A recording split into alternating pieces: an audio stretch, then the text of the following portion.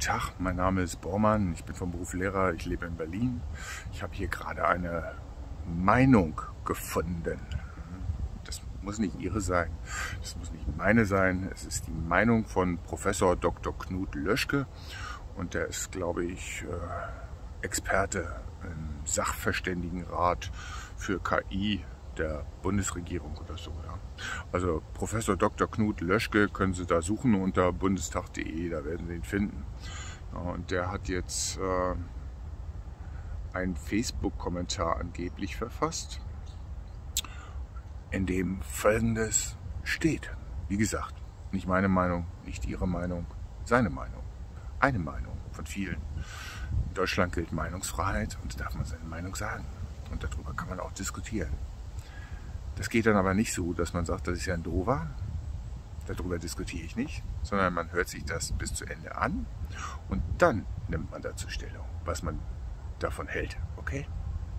Und zwar nicht zur Person Löschke, sondern zu dem, was er gesagt hat.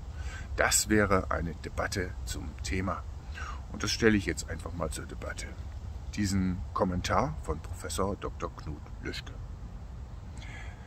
Ich habe es satt, oder um es noch klarer auszudrücken, ich habe die Schnauze voll vom permanenten und immer religiöser werdenden Klimageschwafel, von Energiewende-Fantasien, von Elektroauto-Anbetungen, von Gruselgeschichten über Weltuntergangsszenarien, von Corona über Feuersbrünste bis Wetterkatastrophen. Ich kann diese Leute nicht mehr ertragen, die das täglich in Mikrofone und Kameras schreien oder in Zeitungen drucken. Ich leide darunter miterleben zu müssen, wie aus der Naturwissenschaft eine Hure der Politik gemacht wird.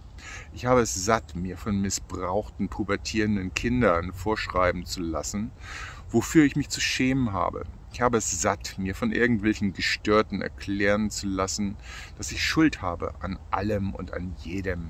Vor allem aber als Deutscher für das frühere, heutige und zukünftige Elend der ganzen Welt.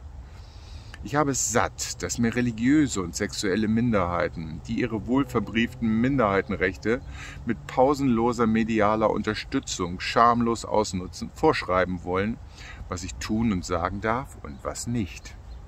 Ich habe es satt, wenn völlig Übergeschnappte meine deutsche Muttersprache verhunzen und mir Glauben beibringen zu müssen, wie ich Mainstream gerecht zu schreiben und zu sprechen habe. Ich habe es satt, mitzuerleben, wie völlig Ungebildete, die in ihrem Leben nichts weiter geleistet haben, als das Tragen einer fremden Aktentasche, glauben, Deutschland regieren zu können. Ich kann es nicht mehr ertragen, wenn unter dem Vorwand einer bunten Gesellschaft Recht und Sicherheit dahinschwinden und man abends aus dem Hauptbahnhof kommend über Dreck, Schmutz, Obdachlose, Drogensüchtige und Beschaffungskriminelle steigen muss, vorbei an vollgekrakelten Wänden.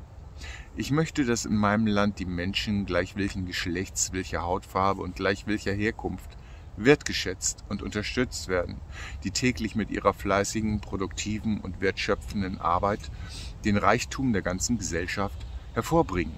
Die Mitarbeiter in den Unternehmen, die Handwerker, die Freiberufler, die vielen engagierten und sozial handelnden Unternehmer der kleinen und mittelständischen Wirtschaft. Ich möchte, dass die Lehrer unserer Kinder die Ärzte und Pflege unserer Kranken und Hilfsbedürftigen die Anerkennung, die Wertschätzung und die Unterstützung erhalten, die sie täglich verdienen.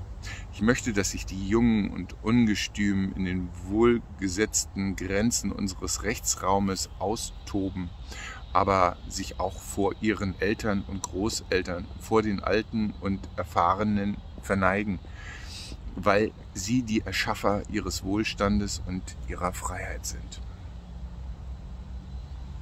Ende. Guter Kommentar oder nicht? Hat er irgendwas Falsches gesagt? Hat er irgendetwas gesagt, was man nicht sagen darf?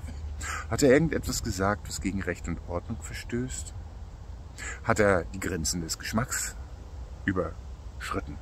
Ja? Ist er jetzt ein Holocaustleugner, weil er etwas gesagt hat, was Ihnen nicht gefällt? Hm? Nee? Dann ist ja alles gut. Schönen Tag noch.